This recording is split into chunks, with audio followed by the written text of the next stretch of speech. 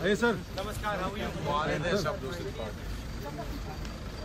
धीरे धीरे हम लोग प्रेसिडेंट हाउस से बाहर हो गए। पहले अंदर अंदर आप लोग वहाँ खड़े होते थे। पहले। वहाँ खड़े होते थे। और वो पुलिस वाले आए अभी उन्होंने कहा कि अब आप लोग बैरिकेड से उधर थोड़ी देर बाद वहाँ पहुँच जाओगे। इंडिया गेट के सामने। आपको ही आना पड़ेगा। और फिर शायद आपको वहाँ भी नहीं खड़े होने देंगे। आपको इतनी दूर चल के आना पड़ेगा अच्छे दिन आ गए। इससे अच्छे दिन क्या हो? आप तो सर फेक न्यूज़